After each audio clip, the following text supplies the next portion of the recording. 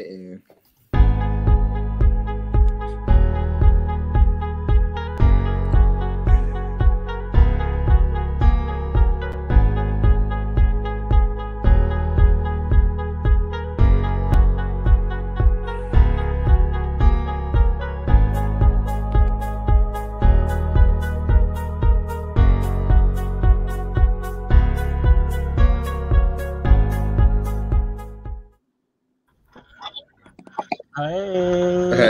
Everybody. Hi, everyone.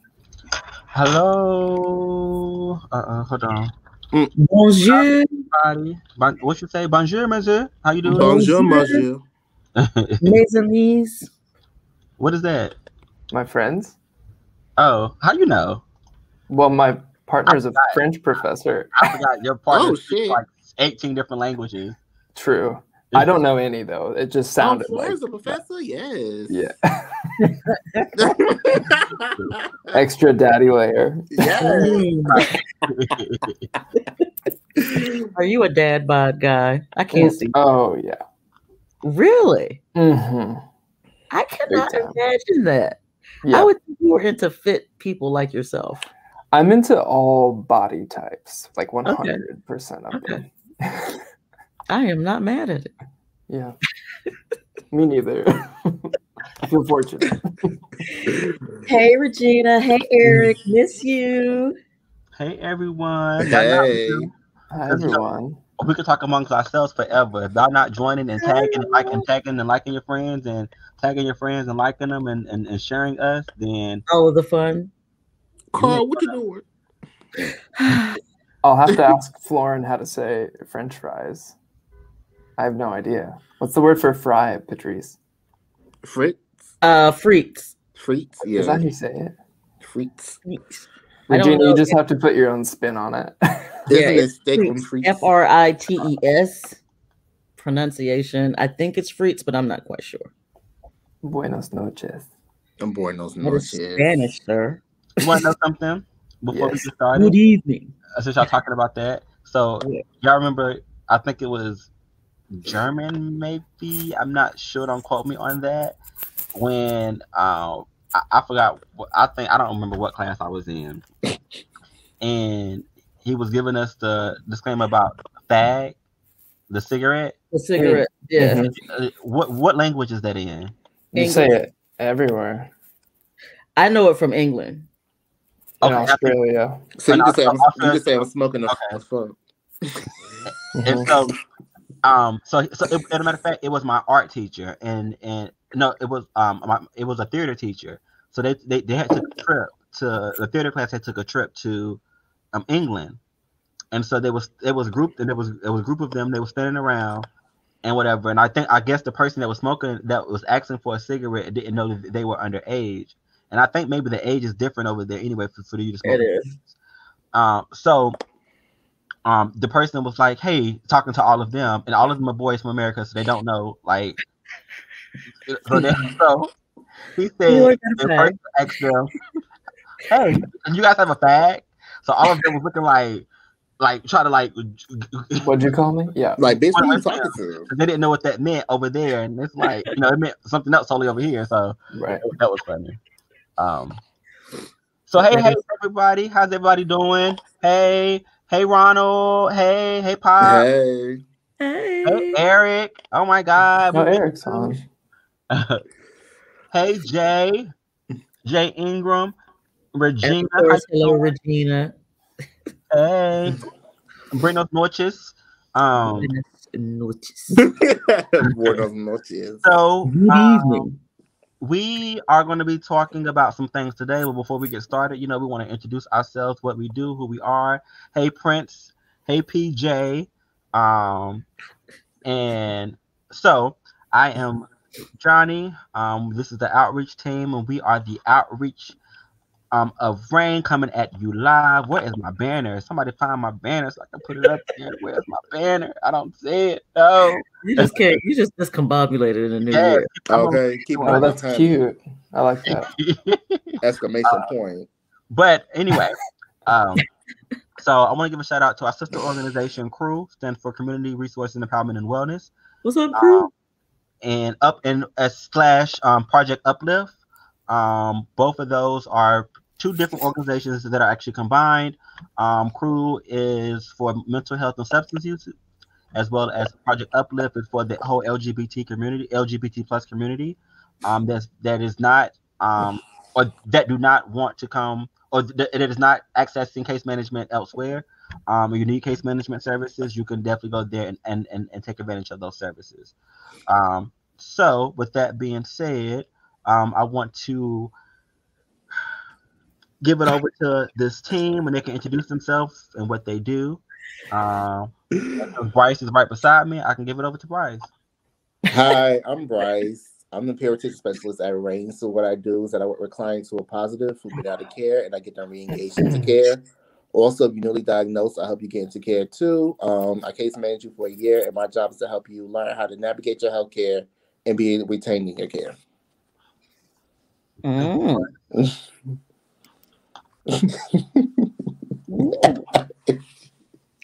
Hi. I knew you was gonna do that to me. This is Patrice. Of course, I'm the PrEP manager here at Rain. Um, I offer a PrEP program that gives you case management as well as being able to get on PrEP and go to the doctor with little to no cost. If you are interested or know someone that's interested, please give me a call at the number below.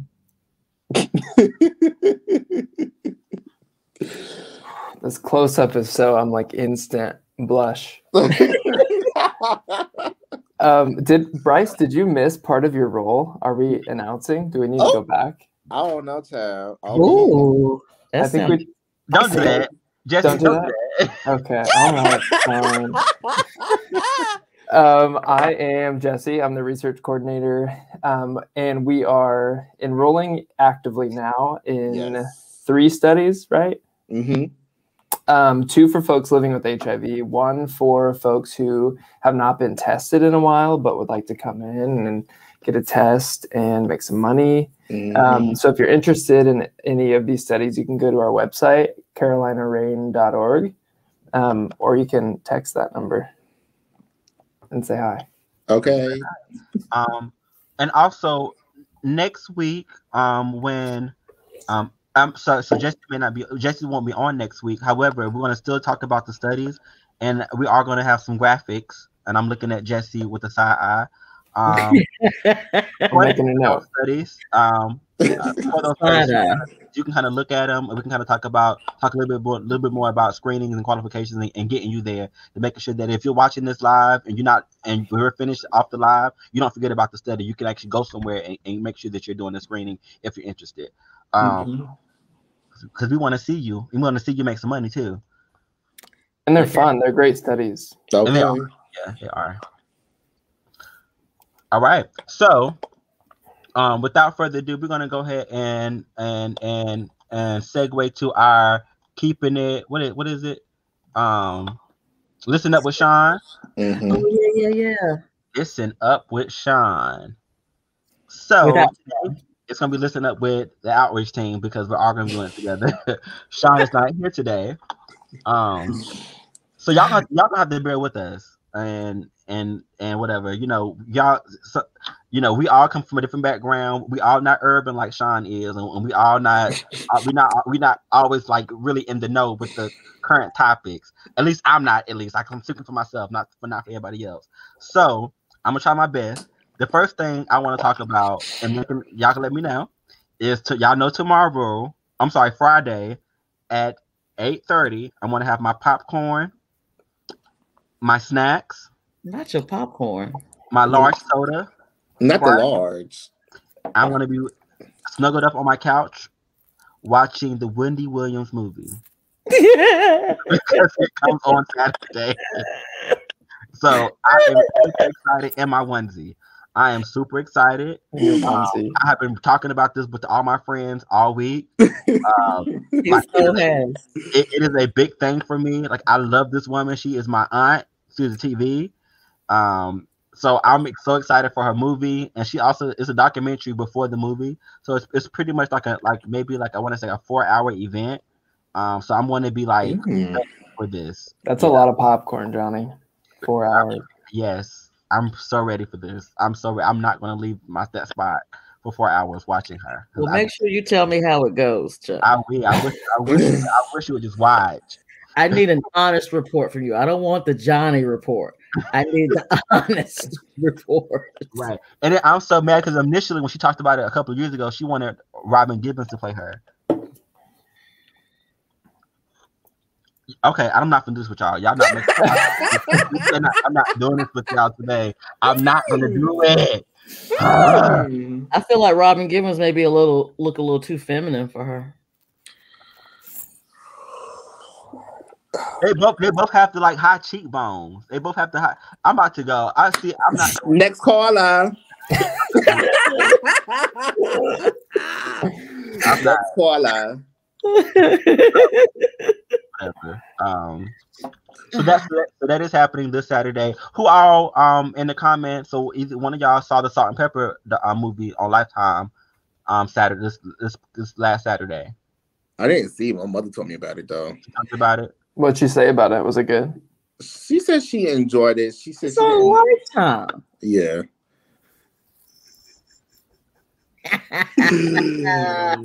Yes, Jay. Uh, no, we're not doing this. With oh, also Jay, you have been extra out of my friend list because we're not we're not doing that. Until I saw the kid, yeah, I was right there with you. I never thought of that of her. I just thought, you know, she had a lot of plastic surgery. That's it. Regina gonna be watching Wendy Williams too. Have you seen? Have you ever seen her when she turns to the side? Yeah.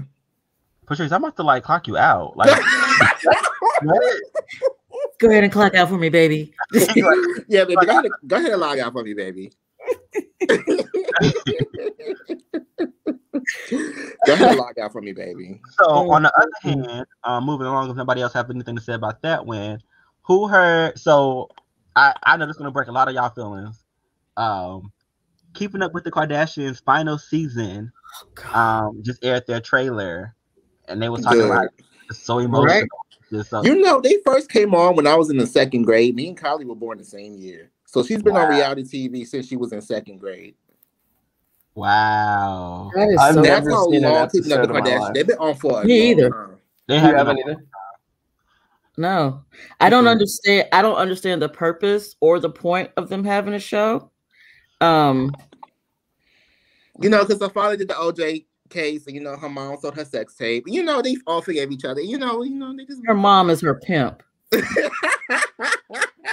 Yeah, I followed the Caitlyn Jenner stuff. That I mean, that was like worth following. Like Oh, her, yeah. her that was journey. crazy. her and who? They thought Caitlyn Jenner, Caitlyn like her, Bruce. They thought Bruce was having an affair, but she was really transitioning to Caitlyn. right? And that was like you know, cool to see like an Olympian Yeah, be be vocal about transitioning. The rest of it to me is total bullshit though. Like the Kardashians, it's like, oh, you have money, and you're just like, mm. Ah, ah. And Calabasas. And so to add to what Bryce was saying, yes, that their first episode date was October 14th, 2007. And they look they were beat up. So this is the 15th season. they will be up. But that's but I but Bryce, that's all reality shows like the first season. Yeah, like, you're right. Housewives, that like do you see them girls Yes. season one to their season now? Nene, as a matter of fact, um, what is it? What what was the other one? Um, Sheree, Nene. Basketball Wives, Tammy was busted in, in the first season. oh my gosh, they like it's a, it's a They whole busted. different paycheck now. The Kardashians, they were busted the first season, but they came a long way, child. I mean, plastic surgery buys a lot. it does. The only one that still looked the same is Kourtney. I love Kourtney. That's my favorite one. so you follow it closely. Who me? Yeah. So like no, not really. I Like, was raised on um reality Yeah. TV, like, but like, like, like, but like, I know enough to kind of have a which is not good. If that makes sense. Kim um, the Kardashians, Flavor of Love. Oh yeah, and I Bad like- Girls Club. Snooki. Snook- Mhm. Yeah, um, Jersey Shore. Yeah, I Mhm. watched all of that. So like when reality TV hit like its golden peak, I was like in fourth grade. So from there to now, yeah, it was crazy. Yeah. Oh wow! The only re- reality show I really watch is Project Runway. And I that like was Project Runway. So good. I love What do you Project think about the Verzuz? I I feel like Ashanti won because I feel like Keyshia Cole came with a whole attitude. It's not the same no more. If you're not doing it from your house, it's just a fucking listening party concert. I haven't seen this one. No longer. that one, Jesse. It's called Verzuz. Yeah. Mhm. So so. during the the the lockdown, there were a lot of artists that uh, started coming online and doing like all these different kinds of things. You had some that did live uh, mixed DJ shows. You had some Mhm. panels, and then you had um, a group of guys came up with the idea to do versus battles. Mhm. Were in their own studios at their house, and they were just doing verses like all of their songs. Like let's say, like they had Boohoo and damn, Erykah I know. Badu and Jill Scott. They had Yeah. Snoop Dogg and DMX. And they would just like go like do sets together. no, they would go song for song and talk about like their hits and the different people in their hits, like kind of like That's cool. And they Gucci did Mane and Riley Jeezy. and um, Babyface, like you know, different things. People that are kind of the same level in their genre. Oh yeah. So I, I didn't watch it because I'm, I'm not a big fan of neither one of them. However, um, I. I'm not I'm not a fan of neither one of them. Keyshia, I did never like Keyshia and Ashanti can't sing to me. That's neither here or there. Um, so um, however, I did see I did see little clips, and the clip that I did see was with Keyshia Cole and the like like I feel like Ashanti the clip that I saw Ashanti was trying to like defuse the situation because Keyshia was like, um, it's my turn, and Ashanti was like, no, you just went. And Keyshia was like, "Girl, it's my turn." Um, um, looking for music, but Ashanti, but Keyshia was drunk. Um, you could tell that she was drunk. Um, and Ashanti was trying to hold it together and like keep the peace and things like that. But I didn't watch it because I don't like Keyshia Cole songs, and I and, and I don't like Ashanti singing. So Ouch. Yeah, I, I'm I'm not a fan of neither one of them. Mm-mm. Dang. For me, the most the the biggest one that I liked it, and you guys can kind of share your thoughts. I know Oh my God, Brandy. no, no, I'm gonna No. read you a poem. no, no, no. Actually, wasn't Brandy. The one that I liked the most was um Jill Scott and Erykah Mm. Badu. I watched That was that good. hour like from minute to minute. Like I did not get up. That was I watched that all the way through. 'cause I, that was amazing. Um, to see the women celebrating each other like that. So I like Patti LaBelle and Gladys Knight too. They did that. Mm-hmm. yes, they did. Wow. Yes, they did. Well, yeah, that would have been interesting, probably. It was Mhm. good. That one was really good too. Um, Subway is being sued. Slurp. Y'all still eat Subway? I sue Subway. Subway is being sued. Um, th- there are talks that the tuna sandwich doesn't contain any tuna at all. What is Uh, it? So, Wow. so it's been like um uh so they, it didn't it didn't really name the ingredients. It was like um what is it? What they say? Um, It's usually just like other fish, right? it, wa- it just Albacore. See it just says a mixture of various concoctions that do not cons- con- that do not constitute tuna have been blended together by defendants to imitate the appearance of tuna. That's just like the salmon that they sell. That so-called coho salmon is not. But who goes to a restaurant with a tuna sandwich though? Uh, but people, I eat tuna. I love Subway tuna. It's delicious. It is really good. so Subway. Listen, I pull up, I get that chocolate chip cookie, and I leave. That's No, it. I actually, like, I actually like Subway. Subway's good. It's easy. It's Yeah, it's, it's fresh. you can smother it in anything you want. Yeah. I like Jersey Mike. with the veggies. I like Jimmy John's. I do love Jersey Mike's. Jimmy John's was very disappointing to me. Yeah, I don't like Jimmy John's either. I hate Jimmy John's, It's very Wow. generic. Like you can make a better sandwich at home. for and I sure. feel like the bread is too thick. You know, you know But the y'all bread. would rather eat Subway. the bread is Yeah. never too thick. Mm. Who was in the book of Guinness World Records? Ashanti? Stop that. Who said that? Who said that? Who said that? Hey, I gotta find that that, that gift and start putting it putting it up here when that happens. Who said that? She might be. Ashanti wrote a lot of good songs for a lot of people. Oh, okay. Wrote, okay? Writing. Jeremy. So Jay, that is my favorite sandwich at um, Subway is the sweet onion chicken teriyaki. I would get an Yeah, the first so- battle that I like was Beenie Man and Buju Banton. That was pretty good. I like that one. They had too. like the highest uh people watching in any of The them. way Beenie Man was dancing, girl. So Wait, I'm, I'm stuck on Meatball Hero. What's Meatball Hero? It's the sandwich itself. Sounds great. Um, so Subway did respond, and they said that that, that is totally not true. Um, they stand by their product. They, they stand by their product and denies the claim. So we'll see. I stopped Yeah, eating yeah. I stopped eating Subway after that Back spokesman scandal.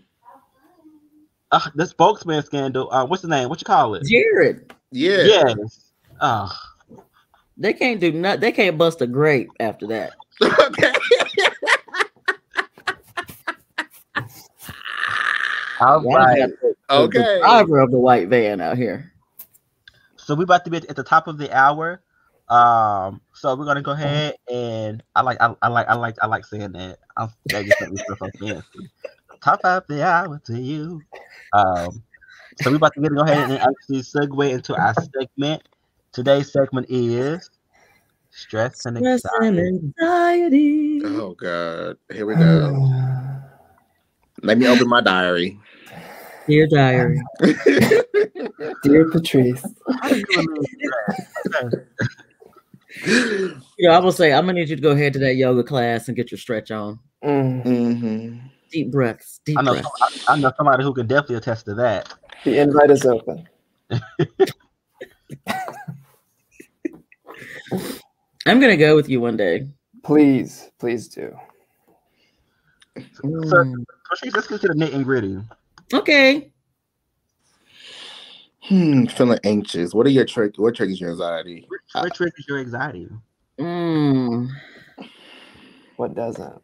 Uh, so I don't know so much.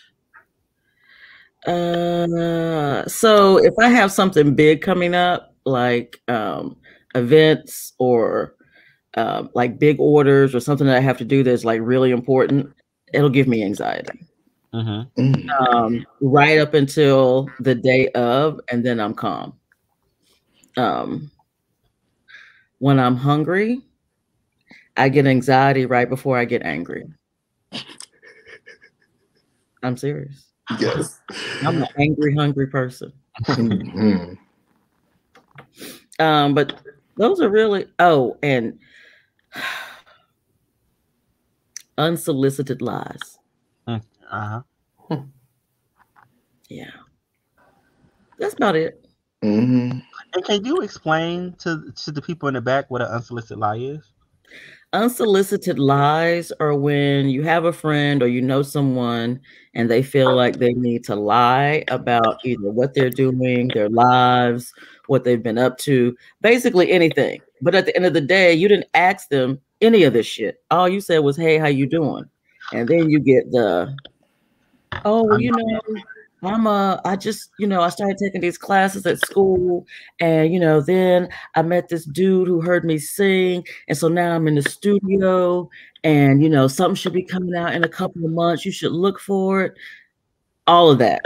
Yeah, I went to the studio real fast. Yeah. This more, this more in between. Did you fuck him? Well, you know, they got studios on damn near every corner in Charlotte now. Yeah. True. Let's get into a studio now.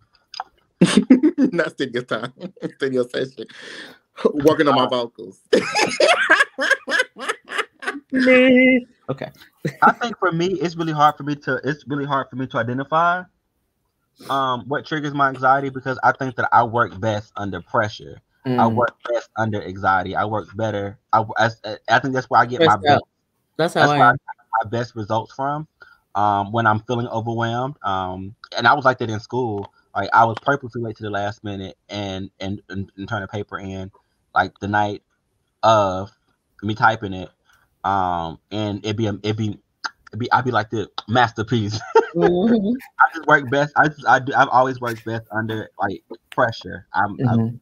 Things like that. So Definitely for me, um, walking into a public place and not seeing somebody I know, like if if you tell me to meet you somewhere and I'm going there and I soon walk in the room and I don't see you, I'm like, oh my god, where are you? Like, where are you at? Then I call you like, where are you at? Arm in the back. I don't see you. Come. like that gives me anxiety. Another thing that gives me anxiety is driving. Like all my life, I've always been in car accidents, and I've seen a lot of other car accidents. And it's Mhm. like as soon as I get comfortable driving again, boom, I get into an accident that wasn't even my fault. Like, Like, a I'm tree. driving, minding my business, and then you here you come swerving to my lane and hit me. I hate driving. I Yeah. hate taking the highway. I only take the highway when I absolutely have to. Like Some People think the highway is easier to deal with than the um the city roads. I, I've actually got to see, I, not me personally, but a lot of my friends, and a lot of my cousins, my like my. So you know we're from the south, so our older cousins are really uh, we call them my aunts and uncles, but they're really I do that cousins. too. But um, so a lot of my aunts and uncles slash cousins that are older in like their fifties and sixties, um, have like told me they have never driven driven on the highway. They scared to drive on the highway. They they won't do it. it it's just not. Um, so they wouldn't even visit. When I stayed on the other side of town, they wouldn't even come visit me because they have to get on the highway to come see me.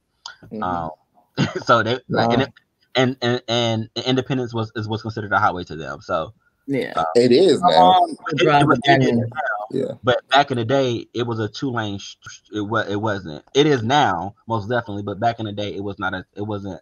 It, it was a a two lane. Yeah, it Yeah. wasn't. It was not a highway. So, but I, but they wouldn't drive on it. Um, and and I'm sorry to cut you off, but you made me think of something. Um, I do get anxiety. Um, with with um, with with the um, what is it? The emergency vehicles. The um, Ambulance and police. ambulance, police when they have their sirens and stuff on um i have to pull over and and and, and breathe for a second because i i i, I freak out um i got hit by a state trooper um a couple of years ago um and i've never and i've always been it's always it's nerve-wracking to, to hear that and i'm driving and i just i don't i, I freeze up so i'm trying to Mhm. Make as possible i don't care how far it is down the street i'm pulling over and i want to sit here until it passes or until it, it figure out what it's going to do um that that does give me anxiety i apologize I, I forgot Mhm. about that No, you're good. This is the only city I've been where people get on the highway slow, they get off the highway flying. Yeah. Like they'll get on the highway going 15 miles per hour, but when it's time to exit, they'll ex- hit the exit going 80. And I'm like, that's the complete opposite of what you're supposed to do.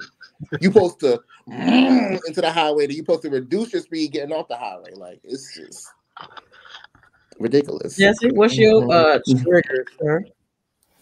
Uh, I think I, I think that there's a bunch of different types of anxiety, but um, the two in my life that show up are like the anticipatory anxiety, like before giving a presentation, Mhm. especially if it's a big crowd, like um, coming on to this session and just you know get a little, little jitters, um, and then and then I think the other like existential anxiety is like the debilitating kind is just any time that I like think about the past or like ruminate, you know, on like the dark times in life. Mhm. It just like really, really gets like that anxiety that comes up at like two in the morning. Yeah. in. Oh yeah, that's the worst. Yeah. See, now I Yeah. feel weird. Why? I don't have that. You know how so many people are like they want to find like their meaning or their path in life. Mm. I think that's so silly.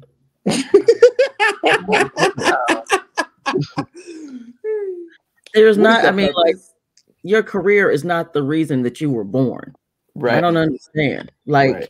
and live your life in any way you would like to is the reason that you're born. Like this whole finding my destiny and all that. Fuck that shit. It's stupid. I agree. Yeah. Uh, we were just your talking about that recently. It's like, who are you to think that you deserve like a purpose? Do you know what I mean? It's like we we all have multiple, many, more than many things that we can offer. Yeah. But see, I'm part of the make everyone feel special generation. Like when I was growing up, we were told like there are no losers, everybody wins. But that's not true. You're gonna lose, and there are losers. Like, but so when we had like competitions and stuff, we would have like my stepfather told me it was only you came in first, second, or third. But now you have first, second, third, but the best trier, or like you said the best. Like everybody has to be made to feel like they win all the time, and I hate that. The participation. rhythm. Yeah, like no, baby, you lost, and it's okay. Yeah, I'm glad that was beh- after me. It was good to watch. Johnny, you believe in purpose? You believe in purpose? Single have- solitary y'all- purpose? Y'all have blew me completely.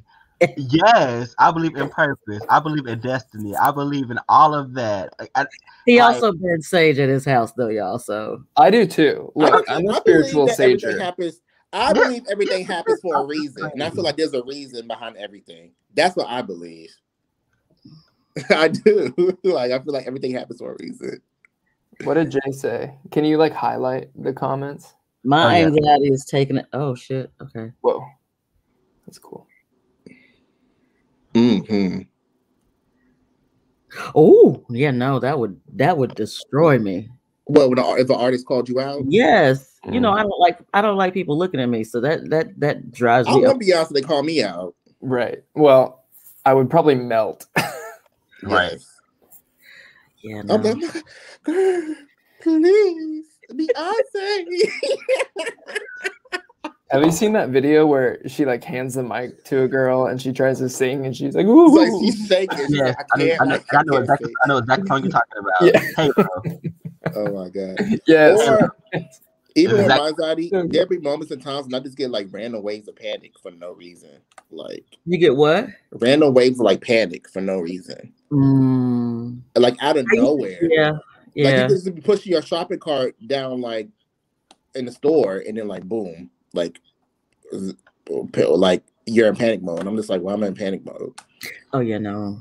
But see, when I'm in a tough situation, my response is flight or fight. So like when I got into that car accident, I was like, I gotta get the fuck out of here. Like I gotta punch the door. I wasn't the type of person that froze like, oh my god, what just happened? Like I'm not that person. I'm the person I'll be like, look, we gotta get the fuck out. Right. Right. This can't happen. yeah. Like one time when it was like was was popping off in our neighborhood, me and my sister were walking, and I started running, and my sister's like, "What's going on?" I had to grab her by her shirt, and I'm like, "Girl, like you don't stop, you run, like they shoot and run." I'm like, "What are you doing?" And If see, I'm not to be stop. I'm not stop and look around person. Yeah, like, she's the type to be like, "What's happening?" how close are they to me? Yeah, That's my question. Mm-mm. Okay. you gotta go. This next one. Oh, okay. Ooh. Mm. I feel like stress is defined by something that you that this comes and you deal with it, and I feel like anxiety is a lifetime, lifelong thing. I feel like anxiety is more of a mental illness, and stress is like something that's just gonna happen regardless. If that makes any sense. Like, I agree with the part that like yeah, uh, that stress kind of ebbs and flows. It's like Mhm. a wave. Um, I think stress builds, and anxiety can be like a constant. It's like a Mhm. constant thing that you work on. But stress is like if you take a new role at work and it's really difficult, and you let the stress build because you do all the tasks on your own, and then you figure out a way to get through that. Then it's you know, up and down. Patrice, I can't read your face. Definitions? yes, that's my definition. Go ahead, Johnny. Um. I, ooh, so I do feel like anxiety and stress is different. hmm Um, like, I like okay. For instance, I can go home and oh, my house is not being clean stresses me out. Yes, It doesn't give me anxiety. No, no, no, no, no, no, no. I'm stressed out. My house is not yes. um why is my house not clean i'm stressed out i'm exhausted You- Y'all getting cussed out. this is draining me um that is what stress means to me it gives you anxiety. It does not stress you out. Love. it stresses me out it i'm drained i don't know what to do i want to go in and Anxiety drains you. Whew, i just i don't know it's uh, i just feel like the the the life in me just releases go somewhere. Like, that's how like um Oh I'm, Lord. I'm instantly tired. Um, because I, I I can still work in anxiety. I can still work. But when I'm stressed out, I am stressed out. Like, uh, um, because they're neat freaks, and I always laugh at them about this. Jay, this is an ongoing conversation. It is. Especially when I have a place for everything and it's out of place. Who's been in my house? oh my god, Don't I cannot stand when I cannot stand when the covers are left on the couch the next morning Mm. in the bed and the covers are still there from when you was laying there lounging the night before. Like, why didn't you fold this up before you went to sleep? Like, why is it still here? I don't get it. I'm stressed out. Oh my We have the exact same issue. even my even my desk at work, like I know somebody been at my desk. I'm like, okay. Yeah, you keep your desk immaculate. immaculate. I'd be so mad when I walk by your desk, like these mother. That's why I be at my desk cleaning my desk, like these motherfuckers got me in here cleaning. God damn it! This is the bullshit. no, but how you feel, Patrice? What separates stress from anxiety? yeah. Well, anxiety is def- defined as experiencing worry, unease, or nervousness, typically about an imminent event or something with an uncertain outcome.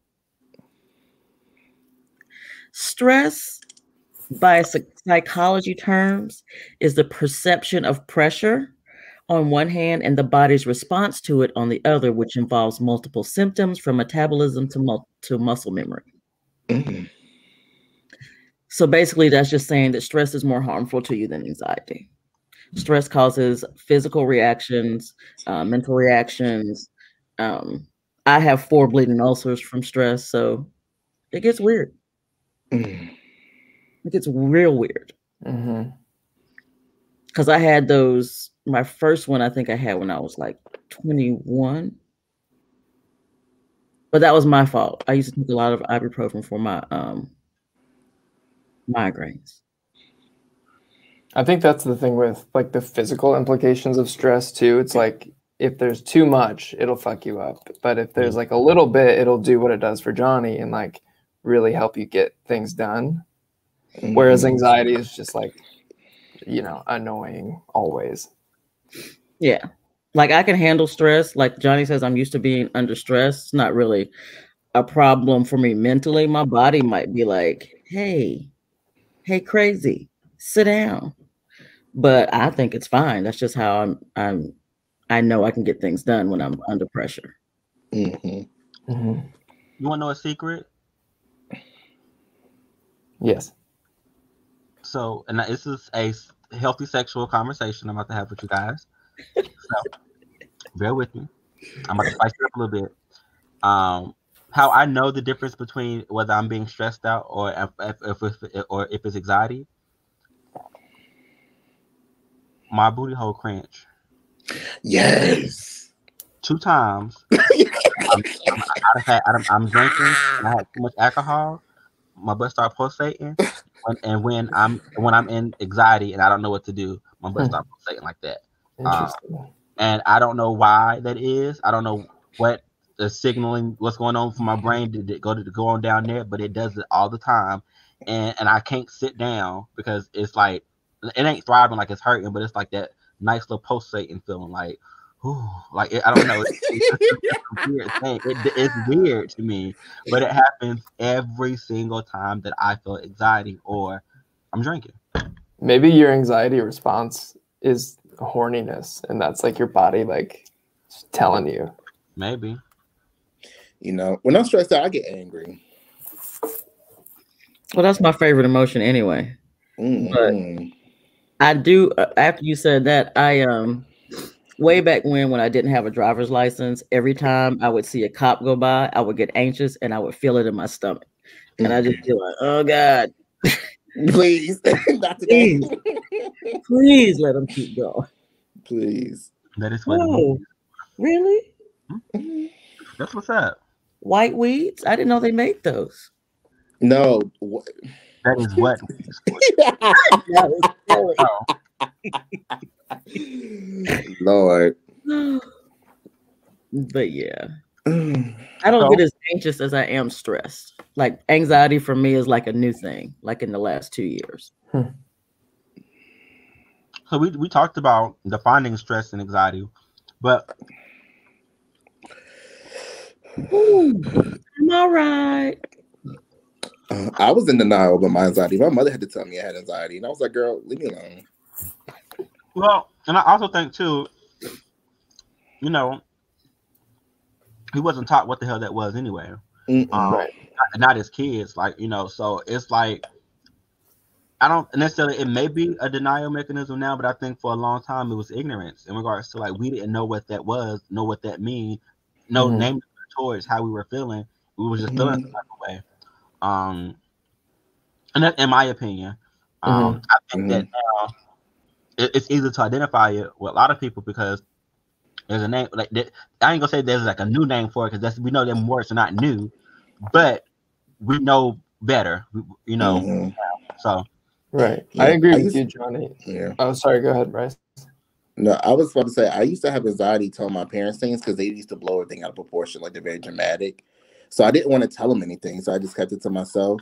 But they'd be like, "Oh, you have a, if you ever need anything, or you going through something, tell us." But it's like, "Nah, girl, because you're just going, you're gonna make it worse than what it needs to be." So I'm just gonna It's gonna go the wrong way. Yeah. So, yeah. I can dig that. hmm Mm, mm. I mean, Um, I used to get anxiety talking to my mom too. Um, and it, and it, and we can be having a good conversation, and I'm scared I'm gonna say the wrong thing. Um, Yes. She's, you know, and and it went, and my, my mama it wasn't like a mean mom, like she didn't beat me and, and anything like that. It's just my mother was very opinionated, like I am, and whatever, and and so she talked with her facial expression, she talked with her body language, things like that, and it was very intimidating sometimes. And I and she never understood that until we got older. Uh, but she just always put her all into a conversation, and and so her, her emotions was always kind of like it always eluded mad. It always eluded frustrated. It always eluded like one of those like things that i, just didn't want to deal with. So i just didn't i didn't care to talk to her um and things like that. Um and like i said and we can be having a good conversation it wasn't anything that was bad happening what she was getting on me it's just how she eluded and how and but honestly most of the women in my family on my mama's side are all like that they all kind of talk really loud they all kind of talk like they're very passionate about things and things like that. So they all kind of, it, you know, it's just like you have to yield to them a lot because you know they're gonna talk over talk and and yell and scream and things like that. And they don't mean no harm. That's just that's just how they were brought up and that's how you know we were taught growing up. So they used to give me anxiety too. hmm Jesse. Yes. um, I was gonna just say that I agree with Johnny. I think that it's a new concept for a lot of people, and even those that it's not a new concept for, um, anxiety shows up differently for everyone, and so it's like learning your your body and how you respond to things. So I don't know that denial is really a way to like even if someone doesn't recognize, I don't think that's denial. I think it's just like what is this very uncomfortable feeling? I don't know how to label it. Yeah. Well, then you always can also get like in my generation, it was very much, oh, you're fine, just suck it up, go to bed, you'll feel better tomorrow. Um, and then once I was an adult, well, after going through college and psychology classes, we'll be like, yeah, no, not a suck it up moment. hmm Not really Right. what I want to do. I want to hurt people, and you want me to let it go. That's not how it works. But yeah, yeah. So this next one that I seen that one of my colleagues put on here is is, is gonna um hit the fan. Not necessarily hit the fan, but I I just it's it's it's, it's, it's an interesting Mhm. concept. So hmm I'm about to re- read it up and y'all What get is ready. eating? I'm just over here snacking. hmm No. I know, but the police do give me anxiety though. And I don't know if that anxiety comes from what I've seen happen to other black people in America or just I don't know. Um, over the last year, um, I've had my ups and downs about this. Um, and um, and I've actually, uh, and what Jesse was, what Jesse was saying to earlier, like it's not just like over the last year, I've had more time to analyze this as an adult male and look at this and understand this a lot better, and then put some and put and then put words to it. Um, but um, anxiety about being black in America comes up when it comes up, if that makes sense. Mm-hmm. Like, you know, like I can't have anxiety about being black in America because that is my everyday life. However, comma, when something happens or I see something happen, then it comes up and things like that. So, Mm-hmm. um, you know, so there are times where like, um, like I got pulled over by the police a couple of weeks ago, and you know, normal, you know, as what normally I, I feel like I can I would just pulled over. No, I went to a grocery store or I went to a, a service station to make sure that everybody see me and like that, and everybody everything was lit up because like, I'm nervous. I've gotten about stuff like that, um, or like or make sure there was a camera, not just your camera on your on your thing, but a camera at the store that can kind of capture what. Mhm. Um, and one of the things that I also like, is, what I also liked about what what that took place that night is that the, another car, random by a random car passing, or random car that saw him, saw the police that saw the police actually turn on his lights, followed me and the police into the store, waited and everything. Di- didn't know me from a can of paint and waited and whatever. And like once the police got my ID and things like that and went back to his car, he like drove up beside me. He was like, "Are you okay?" And I was like, "Yeah." Because I'm, I'm gonna stand right here at the. I'm gonna, I'm gonna go to the, the gas pump and stay here. So he think I'm pumping gas just to make sure that you stay that you okay, and whatever. And I instantly, you know me, fall and crying because it's like it's a shame that we have to do that for our people. It's a shame we have to do stuff like that, you know, um, because it, it's like, oh my gosh. So like when I think about things like that, that gives me anxiety that I have to live like that, um, or I- that that stuff like that has to happen, or I have to second guess, you know, me being pulled over by somebody that's supposed to be protecting me, um, or you know, things like that. So stuff like that does, or like, for instance. I don't know if I was telling you guys. I told you guys a long time ago. The little kids, like you know, back in the day, we played knock knock zoom zoom. That was our shit. We played that all the time, and things like that. I, well, I played it. I, Patrice giving me the funny face, but I, we played. Ding my. So it's a different thing. Go ahead. So if you stayed in Charlotte, North Carolina, back in the late nineties, early two thousands, you played knock knock zoom zoom. That we played that in every in every corner of the city. You played knock knock zoom zoom. Is that Oh. knock and then you leave? you knock knock yeah you knock knock and then you run off um Okay. and things like that um and so you know playing that was fun things like that you kind of played it in your neighborhood and things like that you know and now it's like nerve wracking to play that so you know these kids were in my neighborhood and they were they were playing it and whatever um and it was just like stressing me out when they, they did they did it at my door. I didn't know they, they did it at my door and they ran off things like that. But to think that they, you know, and and, and, and, and they were black kids, and to think that they, you know, could knock at the wrong door at that moment and and and and something happened to them.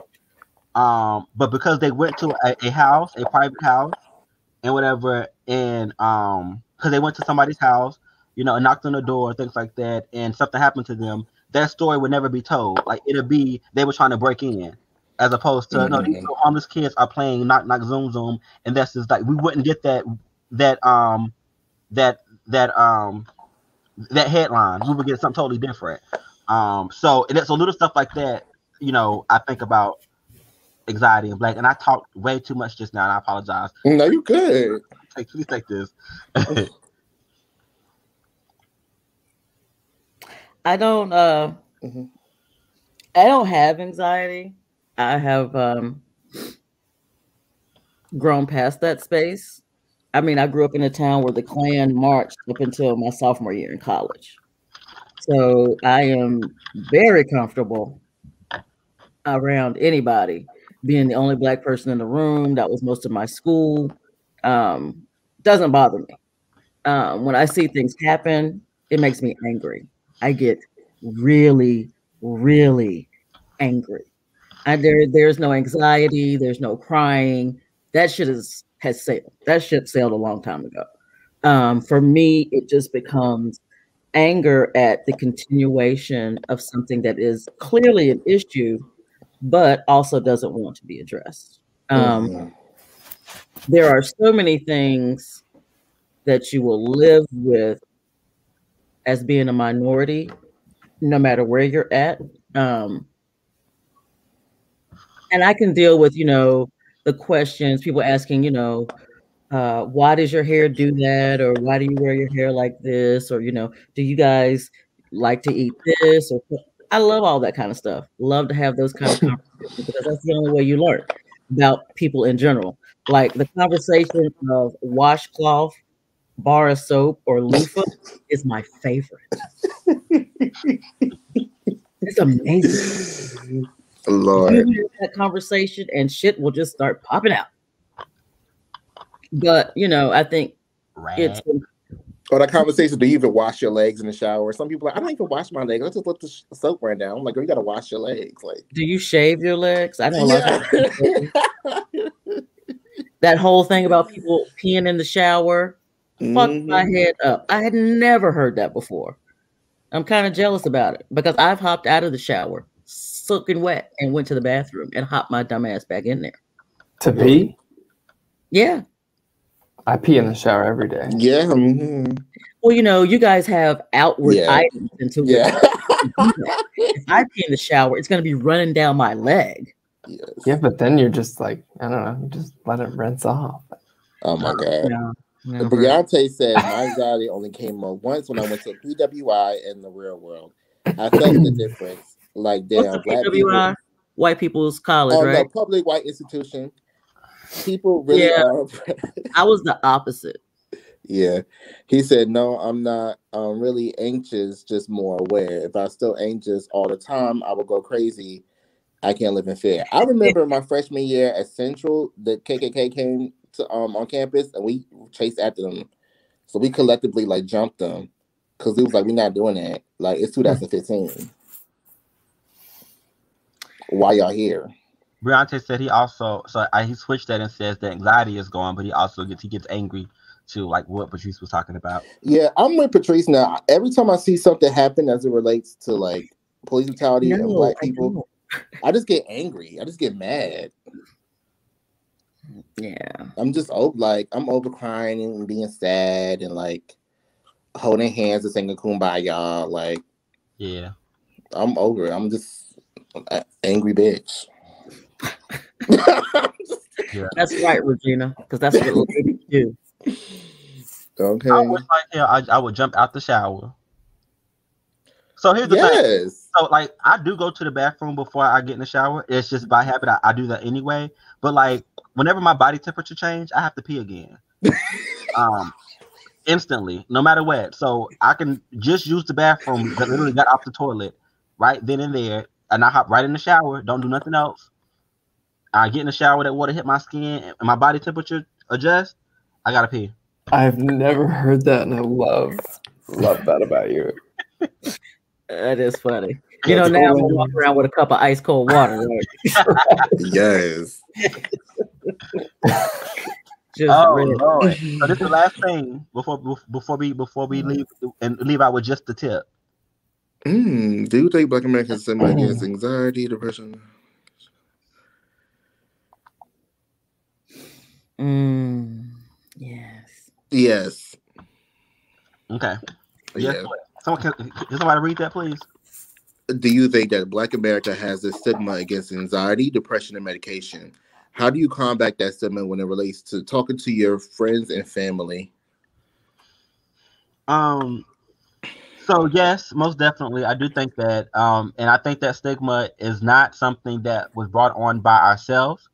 I think that that was brought on the impression, the uh, oppression of of of of mental health, um, knowledge of what mental health is. Um, I also think that um, because again, we were kept in the dark about about mental health for a very long time, in my opinion. Was it um, in the dark or was it denial that it was a real thing? I, I, I think in my generation, they knew what it was, but it was a denial of it being a real thing. I, mm-hmm. I, I think it was a combination of both. Honestly and truly, I do. But um, I feel like um, now, whenever we're talking about it, I think that again, I think we have so much help with social media and celebrities that are bringing it to the forefront. The conversation is a lot easier and a lot better to have. I think more people are more more um are more able to kind of understand and adjust to that concept of we have words to actually go with these feelings. You can name it now, and we, we can talk about it now. Let's have that conversation. And mm-hmm. I kind of felt like that would not have been possible. Like where we're at with mental health, anxiety, depression, and and, and things like that. Like I, it, I'm still surprised by it and how social media or how our celebrities that the Summer Walkers and all of the other people that came out, um, even even and even and they just knew Even in the early '90s, I remember hearing songs about you know mental health and things like that. So I the consistency of that taking place, I think, helped a lot with people, you know, under, having these conversations. I feel like people who are like oh lord 55 and younger are more susceptible to that i feel like if you plus like you're like 47 plus i feel like you're kind of set in your ways like my stepfather is a hoarder my biological father has severe ptsd from being in the military and that's part of the reasons why um, they had their separations it's like my stepfather became a hoarder because he grew up very he grew up piss poor and having nothing so once he was able to buy himself things he just kept collecting more and more and more and more and my father um had PTSD so bad to the point where motorcycles roll past his house and he's tackling us down to the ground. And it's just like, but he won't do nothing about it. He doesn't believe he has it. He won't go to therapy. He's sending my stepfather. He sees nothing wrong with how his apartment is and how he's living. So it's like you can keep telling them these things to their face, to their black and blue, but it's like they really have to accept it for themselves, and it's kind of hard. And I feel like they, and I I'm feel sorry, like they're, they're denying it because they feel like by them um accepting that, then they feel like they have to admit that there's something wrong with them, and they don't want to believe that there's something wrong with them. Mm-hmm. Yeah. In my family, uh, my dad's side of the family, we have, I have a great aunt who is psychotic. Um, has been diagnosed since my father was a child. Um, and she's real sweet, nice old lady, and she actually has lived out everybody. that lady's like 90 something. Um, but so I've always known what mental health was growing up, but mm-hmm. only it being paid attention to when it's on an extreme level. level. Right. All right. Um, I've known I was depressed since I was probably 12 years old. And I read I was doing something, I don't know what I was reading. I read it, I was like, huh, that sounds about right. I've also known I was bipolar since I was 18. So even though knowing these things, I was still in denial about needing medication, about needing therapy. Um, I think until you hit that point to where you're sitting in your room rocking and you can't move, um, you won't really have that push um, that you need to go. Mm-hmm. However, after going, um, I remember my parents, my mom looked at me one and she said, You seem to be in a really good mood. I said, It's called good meds. Good medication. I got some happy pills and I got some angry pills. Changed my life. And so she was like, Well, keep taking it. keep taking it. So real quick, I want to read through these comments, and I do want to go ahead and, and finish out the segment with with with um just a tip. I want to make sure we acknowledge some of these people. Um, whew, yes, for the longest, my depression wasn't a thing. My anxiety is still looked at as a minor because I look so put together with my with and with medication. Everyone tells me that not to take it, but baby, I need my Lexapro and my weed. LOL. Period. Lexapro save a hoe. That's on period. Cause Lexapro is only for men. I took that shit one time and it didn't work out. Mm-hmm. Not okay. It Hey, has Ray. libido on triple terrible extra. And I also and I and I also think that it's from it's for a man under or over or under a certain age. Because I think over an age, you start messing with you like your your your your um testosterone. Your Um, libido or something like that too. Yeah, they start messing with start messing with that. Um, you can't you can't get up. Um, and Mm. um, because I, I actually had uh um um a person that I worked with um that was on it, and and the doctor prescribed it wrong. Um, and they were they were like 37, 38, and it messed them up sexually. They could- just couldn't do anything, so they had to be, to be on something else. Um, Mm. and we looked, we Yeah, together. Um, that is gave me. Eight of the questions are moving mentally. Uh, let me see here. My grandmother refused to get help. We're talking about what Patrice was talking about earlier, but it's like they don't want to tap into their trauma, and that's a different kind of trauma. Um, talking about the, the baby boomers were, were more messed up than any other generation. Um, Hey, China baby. fucks up my sex though. So he's talking about the Lexapro. What he, when he said it, he does it does messes him up sexually. Um, I ha- and I have anxiety and stress. Um, China, there is a lot to push. There there is a lot of push. There is a lot of pushing un- pushing under the rug, and they just leave it there until never. But seeing other people talk about it is like yourself opens up opens up opens the door to having these conversations with family. Exactly, awesome. exactly. Um, Mhm. so I know we're a little bit over time, but y'all bear with us. Y'all loving the conversation tonight. Um, so It's time. It's time for I want to just the tip, And that's on per. just the tip. Okay, just why a is tad, health in parentheses? Because it's just a tad, baby. Oh. Um, Patrice, Hmm. what you say about this? I said that it says just the tip, and then it's got health in parentheses in the middle. I'm laughing. I'm laughing about the egg. I'm not touching it. The egg also matches my egg. Yeah, he's got one on his arm. Mm, scrambled. I just I just feel eggy. Sunny side up. Oh yes, sunny side up. I like it scrambled. All right, so just the tip. It's a little off brand. It's not about like fitness or nutrition. Um, because so a friend of mine, Laura in Indiana, um, she gave her daughter this like little toy microscope for Christmas. hmm And they took a sample of their bathroom sink, just like a little scrape, Oh, and put it under the microscope. And they sent me a video. I should have sent it for you to play, but it is so mind blowing. it is like a living world. Like you can see like little worms and like we've all Mhm. okay, please. Yeah, yeah, but like really you can see like moving yeah, tardigrades and all that stuff. Bleach. terrifying. So But I mean, if you were to look at your arm, you would see the skin Mhm. mites and stuff. So Yeah. I mean, definitely, but of course it like piqued my interest. So I googled it a lot, like a lot, a lot.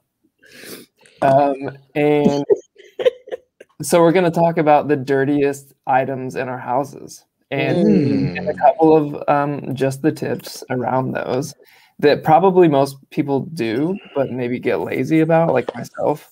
So this is a reminder to kill those little critters. Um, so any guesses? The three, like, oh hi, Hi. um, the three like nastiest items in the house. Your toilet scrubber. the plunger, your toilet plunger. Okay, both ding ding ding. Let's just wrap bathroom into one. Yeah. Okay. and Okay. then two others. I The feel like- dishwasher drain. okay. What were you gonna say, Johnny? Your pillow. Oh shit! Now that's like a whole other rabbit hole for me to go down.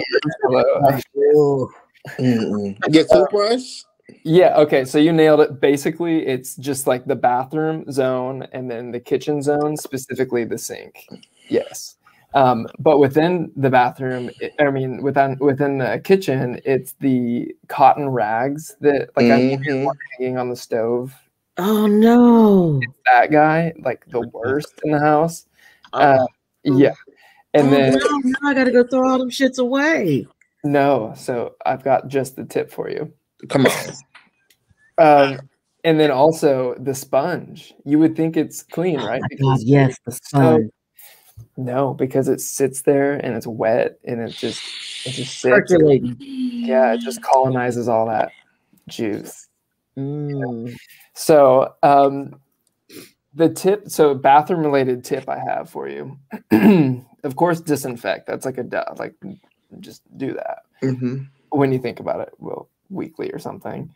Um, but the other one is when you flush, every time you flush, even if it's like a tiny little pee, close the lid before you flush. And even if it's a soft little spiral, not like one of those like rush flushes, little particles float around the bathroom and land on things like your toothbrush. Yeah. So, so when you flush, just close the toilet. You don't have those little particles flying around. Keep keep the seat closed if that makes you feel even better. For me now, it does. Um, because then you've got to like put your your toothbrush in the dishwasher or like deep clean it with No, I'm just gonna buy a new one. Right? Because now you have like little poop particles chilling on your toothbrush. And that's like scientifically backed. Damn it. um so i'm glad i can make your night. That's bathroom. I'm scared. um and then another so a tip for um, kitchen is to avoid cotton rags because even a single use um, it catches the bacteria even if you're using disinfectant and then from there it colonizes and if you use it again you just spread that shit everywhere same with the sponge so what we do now because i'm a little obsessive about it is every time we do a load of laundry i just throw in the sponge and the rags Mm-hmm. Oh, yeah. Okay. Yeah. That's pretty like much what. every load yeah Mhm. Mm-hmm. Um, I don't. And I- mm. so this is a, so funny, Jesse, that you that you brought this up because Chelsea called me last week randomly and asked me what I do with my sponges and whatever, and I buy the dollar sponges. Uh-huh. So Same. Mm-hmm. they go in the overuse trash. I, Yeah. I use them and I throw them right away. Mm-hmm. I'm, they're not staying on my sink. They're not staying nowhere. I throw them away. They're not staying anywhere for that particular reason because I know that they don't. Um, and it's only a dollar, so whatever. Um, so and, and and I get the ones that's like three in a pack. Mhm. So I just I throw them right on the way. Um, and she, she, she was like, "So what do you use to scrub with?" So you know, like back in the day, and I know, um, and Bryce, you well, you have an old soul, so, so you may know what this is. That Librillo pad. The, Oh my um, god! I knew that's what you were gonna say. the woo one, the real like if you burn it, it's gonna like light up, light up. The the woo one, They're um, really thin. really, really, it's almost like a um, yeah, it's, It's, it's, it's like this big, Yeah. And it's It's- like wire wrapped Yes. soap, yes, like dry soap. Okay. And so people use them because it's very abrasive. Uh-huh. So you can like really like if you have stainless steel, it's perfect. yes. Mhm. However, Anything that else you have? motherfucker Yeah. will rust on your sink like it's going out of style. Yeah. I know what you're talking about It, now. it rests. It rests. yes, it does. Yes, it does. Mhm. You know that Ajax or that Comet that comes in the can? My grandma Love used to it. play with that. Mhm. Love it. That's the And only like- cleaner she used, the one that came in the can. And, And she was like, yeah. That's like the best bathroom cleaner ever. And does, and the Brillo pads does take the coating off your pans if you have like um Yep. that coating at the Anything bottom. besides stainless steel. Yeah. Yes. So the the bonus. Feeling up. Oh, did I cut you Go off? ahead, Jesse. Uh, go ahead. The the bonus tip is, um, of course, and we all know this. Your phone and keyboard are like a close Mhm. third to like the nastiest. No. yeah, So- you're supposed to wipe your phone and your keyboard every day. like more than every day. So Yeah. there's a study done where of all sampled keyboards, 96%, almost 100% um, of keyboards and phones were contaminated with pathogens like E. coli and staph. Mm. 96%. So no. I'm like looking at my keyboard right now thinking, Me too. I gotta go wash my hands. Yeah. But Yeah. I mean, of course, like we don't get sick like from this all the time, but these things are just like I'm definitely gonna be more mindful. Right. Right. Right. I don't want Mhm. poop on my toothbrush, you know. No. Yeah. Now I gotta burn my toothbrush. Right. I'm, but here's the thing. That's never been a problem for me because uh, what I do is, and I, I I put my toothbrush back in my pack. You have a pack? So I, Mhm. the toothbrush pack that it comes in, Mhm. I would um brush my teeth, Mhm. clean it, finish after I brush my teeth, clean my toothbrush, and I put it back in the pack, and I would set it on so the on the cute. Like I, You have so much OCD. It is not even funny. if I and if and if something happened to the pack or like if like I see the like because Greg will go in the bathroom before me and the pack is Mhm. like inside the sink, like I'm nervous that the the tooth my toothbrush fell out at some point and it, it it messes with my mind. So I throw the whole thing away and get another whole new toothbrush. Like I do not care about my toothbrush at all. Uh, my toothbrush don't even touch his. Like that's how like I cannot. Ugh, I, I- it's nasty. I cannot do that. I, I am very very big on my toothbrush on my toothbrush. I can't. I'm not. So you I'm- don't share your toothbrush with Greg? No. I wish like hell that man use my toothbrush. I'm yeah, I'm gonna be on first 48. I promise you that. I promise you. I'm gonna be on first 48. We can share a lot of things, but not the toothbrush. I am not sharing. I don't even No. like sharing my wash rag, let alone toothbrush. Period. I don't share my wash rag either. No, no, no. Oh shit. Mm-mm. Jesse, any more tips for us with the uh That's it. y'all trying to make me feel fucked up about cleaning, huh? All right. And also think about public toilets too, like those like those super flushers. That's what fucks with my head. Cause some of them you can't even close the toilet, so you have to like foot flush and run away. Mhm. The, o- the only time I I don't even Y'all are use wild. I, I, I, I, I don't even use public bathrooms. Um, when I, when, I'm gonna tell you something. I will be in this office struggling all day because I'm not sitting my butt down. I don't care how much tissue it is. I have to be like literally like having like I have like water have to be coming out my butt. And I don't mean to get you know that you know, but it is what I just cannot use public bathrooms. I just can't do it. In college, when I lived in the corridor style dorm, I Mhm. would wipe the toilet, the whole toilet down with the Clorox wipes. Then I'll put the toilet seat cover on top of it. Then I'll still make another TP with the tissue to put on top of the toilet seat cover. Like that's how I did it. I just Are could you not. serious? I'm so serious. I could not. That's right. I could not. That's right. Look. And like What that's is the type of dorm where you share a bathroom with everybody on your floor. So like it wasn't like I had Yeah. my own private bathroom. Like so like I had to I literally used to go to the bathroom with my Clorox wipes, clean the whole toilet, put the toilet seat cover on, put two toilet seat covers on, then make a whole nother TP uh, out of toilet tissue just so I could sit down on the toilet. I couldn't do it. I'm sorry, and it's the last thing. I I'm about to go. I promise. I'm about to go. I promise I'm about to go. But I have. I think I was at the airport, and it- I was in a different city, a different, a different um state. I don't. I can't remember which state I was in. But like the toilet seat had like so like you know like only I've in Charlotte, and, and, it, and there may be a place in Charlotte that I don't know about that I've never been that you guys can may identify. But like you know how like the the toilet seat holders are on, or the toilet seat covers are on like the wall. You gotta pull them and then put them on the seat. Mhm. No, th- like I don't know what city or state I was in. I do not remember, but like the toilet had automatic toilet covers. cover, and so you would press the button and then it Mhm. would, like rip itself out, and Mhm. I knew when to come on. It was so interesting. I'm sitting there playing with it. I'm like, oh, it was so interesting, and everything was covered. Like I was like, oh my god, my mind is blown. Why haven't somebody? Like, this needs to be everywhere. Like this, this is- Everywhere. It needs to be everywhere. That is Jess- so funny.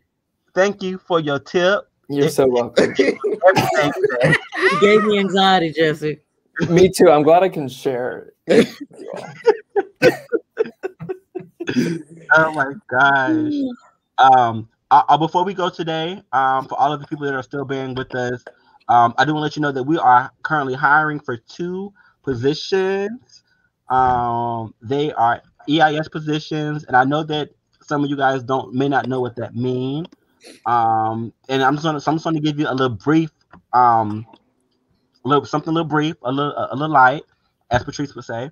Um, and it's pretty much what Bryce was describing earlier. We do a non-traditional style of case management for people that are out of care, um, or and or are new to care, and or are experiencing different things while they are positive, meaning Mhm. they are pregnant, um, and positive, meaning that they are going through some type of event or something, you know, something that may create a barrier for them to get to the hospital, get to the clinic or doctor's office, or in care, or to stay in care, um, we intervene and try to make sure that we keep that momentum going, um, or start that momentum for them, um, with them, not for them, with them. I apologize. Um, and so I just want to let you know that. Um, so if you want to apply, please, please, please, please, um, please, please, please, please, please, please, go to our website, which is childrenfamilyservices.org. Um, go to careers and it is listed there. Um, you'll be able to find it. And we are, and I also posted on my own social media and on the Keeping It 100 page as well. So you can go back and look at those and, and click the link and apply. Um, Mhm. but that's it. Thank you for joining us. Um, and last but not least, before we go, you know, we're gonna do our thing. Getting